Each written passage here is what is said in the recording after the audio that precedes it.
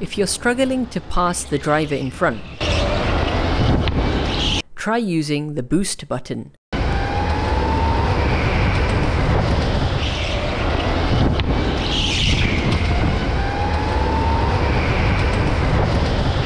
The key to using the boost button is timing, because you can only use it once per minute.